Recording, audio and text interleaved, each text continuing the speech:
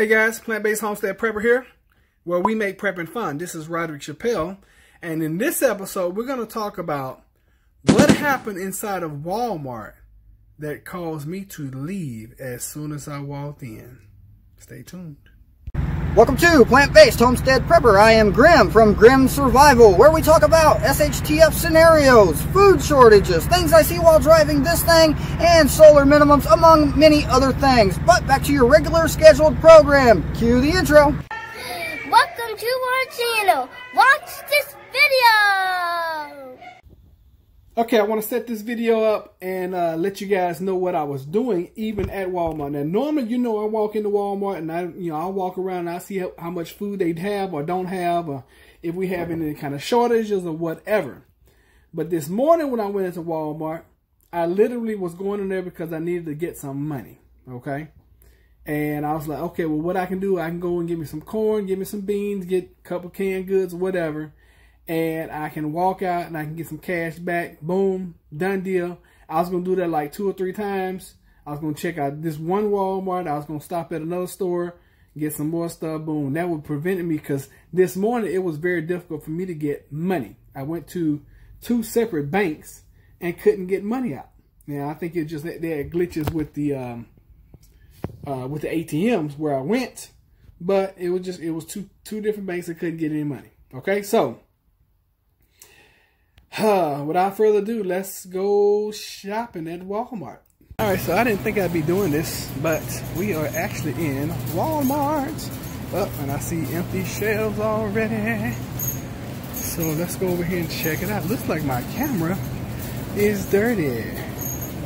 So it looks like we got some cilantro, which is yummy, yummy. Let's see what it smells like. Is that, parsley? Oh, that is parsley. All right, so empty shelves. Okay, all ready, folks. As soon as I walk in. And also, uh, empty shells for bell peppers, empty shells for peppers, squash, and I'll turn around so y'all can see. Boop. Empty shells. So, stay tuned. Okay, so I'm getting evacuated because the store is on fire right now. So we got to get out the store. So guess what? No, no video. Uh, it's a fire right over here.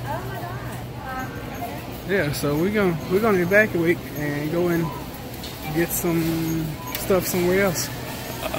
So that that went that video.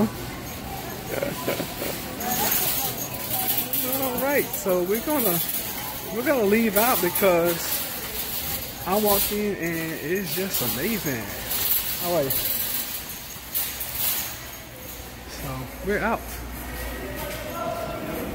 All right, so um, I had gone in because I was actually gonna pick up something and get some um, get some cash back. That's really why I went in there. But while I was in there, I was like, okay, what's well, something here? Let me go ahead and do a video. But um, I saw these workers standing around, and I was just about to hit my record button for, um, you know, to record and show you guys some magic. Here come the sirens now, because literally the store is on fire. I mean, really, she was like, y'all heard her. She's like, sir, you, getting, you need to go to the front of the store because, you know, it's on it's a fire. I thought I was about to get in trouble again for recording, but not this time. So, the food shortage is affecting us so much that they're just burning the stores up. See y'all next one. Take care. Subscribe to our channel. Subscribe to our channel. Yes, subscribe to our channel. Say it again. Subscribe to our channel. Yes, subscribe, subscribe, subscribe.